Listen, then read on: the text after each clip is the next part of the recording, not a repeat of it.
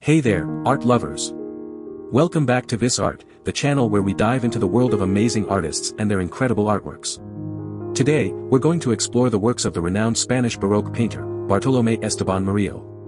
Murillo is famous for his religious paintings, but did you know that he also created stunning portraits of everyday life? His realistic depictions of flower girls, street urchins, and beggars give us a glimpse into the vibrant world of his time. Let's start with Return of the Prodigal Son.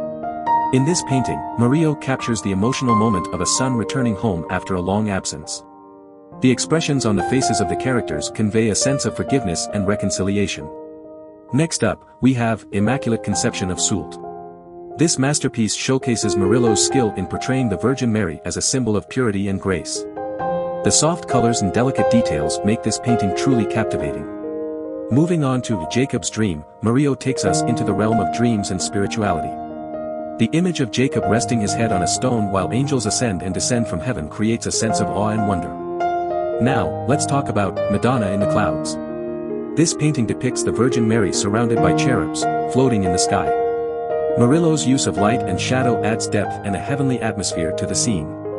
In The Immaculate Conception of the Virgin, Murillo once again portrays the Virgin Mary with a sense of purity and divinity. The softness of her features and the ethereal glow surrounding her make this painting truly mesmerizing.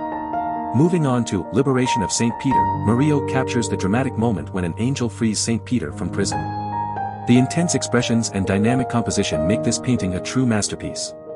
Now, let's take a look at St. Justa and St. Rufina. Murillo portrays these two saints with great detail and realism, showcasing his ability to capture the essence of his subjects.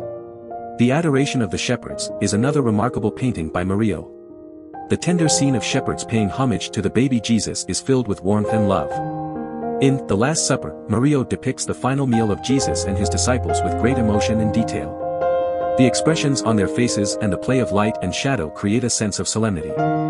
Moving on to Santa Rufina, Murillo portrays this saint with a sense of serenity and grace. The delicate brushwork and attention to detail make this painting truly captivating. In Saint Justina and Saint Rufina, Murillo once again showcases his ability to capture the essence of his subjects. The expressions on their faces and the intricate details make this painting truly remarkable. Now, let's talk about Virgin Glorious. Murillo portrays the Virgin Mary with a sense of majesty and divinity. The rich colors and intricate details make this painting truly breathtaking. In Annunciation, Murillo captures the moment when the angel Gabriel announces to the Virgin Mary that she will bear the Son of God. The expressions on their faces and the delicate brushwork make this painting truly captivating. Lastly, we have Boy with a Dog. Murillo portrays a young boy with his loyal companion, capturing the innocence and joy of childhood. The warm colors and tender expression make this painting truly heartwarming. And that wraps up our exploration of Bartolomé Esteban Murillo's artworks. We hope you enjoyed this journey through his incredible talent and the beauty of his paintings. Stay tuned for more amazing artists on Vis Art.